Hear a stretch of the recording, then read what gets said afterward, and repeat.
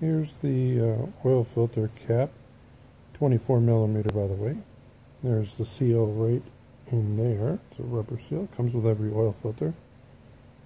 That's the inside. This is the oil filter that comes with it. It's got that pointy thing on it. You got the right one for 2014 and above. They had some problem with the bypass valve. The bypass valve now is right there. When I first did it, um, it was in. I first changed my oil. I pulled it out crooked and broke that off in there. And I thought, what the fuck?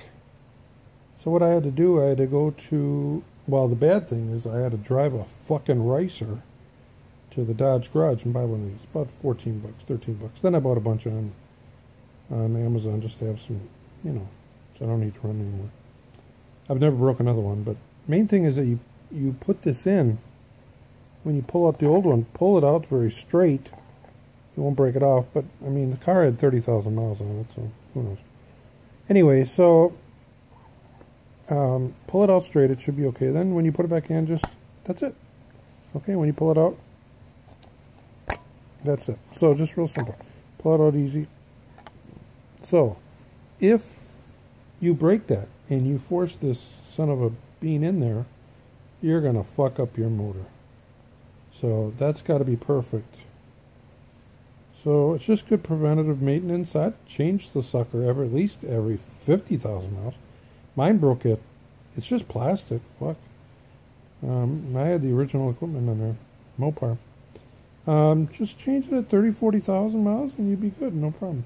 Make sure you put the seal back right there where it's supposed to be. So,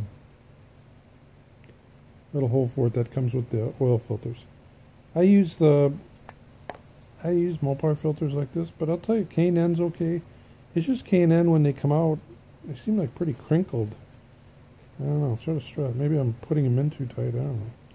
But uh, when I do Mopar, they're not. So you can see the inside's plastic. It's These filters don't fall apart. They're pretty good. I, I don't, I change my oil very frequently. I'm embarrassed to tell you how much because the damn Democrats get after me. But um, um, I, I do a lot of short distance driving. I used to do a lot of long distance, then I changed my oil at 5,000 or 3. But now I just drive short distances, uh, you know, 5 miles and that barely gets the car warm, you know. So I, even though I live in a warm climate, warm year round, um, I change it every 1,000 miles. And I use uh, Pennzoil Ultra Premium or Ultra Titanium or whatever it is, Ultra, it's the Ultra One yellow bottle. Um, it's the actual oil that you'd buy at uh, the Mopar garage. So Pennzoil Ultra, whatever. So you can buy the regular oil at Walmart, but uh, the Ultra you have to buy like on Amazon or something. I think you can buy it at Walmart.com. Uh, you can find it on sale for five quarts for 20 bucks. Uh, the stuff that goes into Hellcat and the high-end like the 6.4s and 6.1, 6.2s, Hemis, those are, they take 0W40, and that's what I'm tempted to try in my car. I, I know a lot of people tell you not to, but that's what the Europeans use in their Beamers and stuff, so I don't know, it's a European formula, and Mobil 1 does make a, a 0W40, so does the Pennzoil. It's just very, very expensive. So I have a few friends that are using uh, the 0W40. Um, in their 3.6, and damn, that car runs good.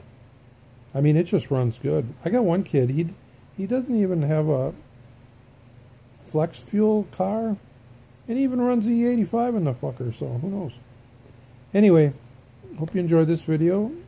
You know, um, use a good filter, don't use any junk. Change this sucker every 30, 40, 50,000 miles, and you'll be good. You don't want to screw up your motor, man. Those motors are a lot of money.